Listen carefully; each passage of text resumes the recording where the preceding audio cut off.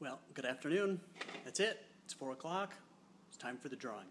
I had an amazing response to the sweepstakes, and I'm very grateful. I want to thank each and every one of you that entered, and each one of you, even if you didn't enter, just for following me on Facebook and and uh, tolerating my emails and my texts and postcards and all that stuff. It it, it means a lot to me. Uh, I've got uh, several new customers, new folks that I get to build relationships with, and and uh, help give peace of mind and protection and and uh, I, I love what I do and I particularly love it when I help people and that's what I get to do this time so thank you all. So uh, but you know that's not why you're watching this. You're watching because you want to know who won right?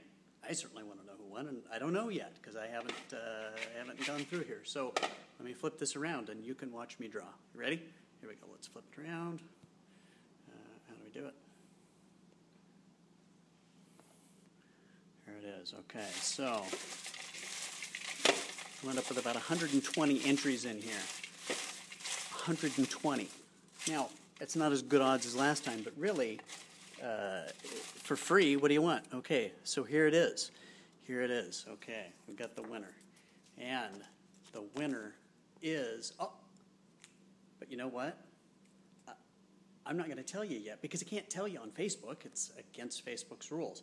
So uh, I can tell you that it's somebody who called me for an auto quote. Uh, as it turns out, uh, this person isn't a customer yet, but I think I'm saving them enough money that uh, they probably will be. Uh, uh, but you want to know who that is?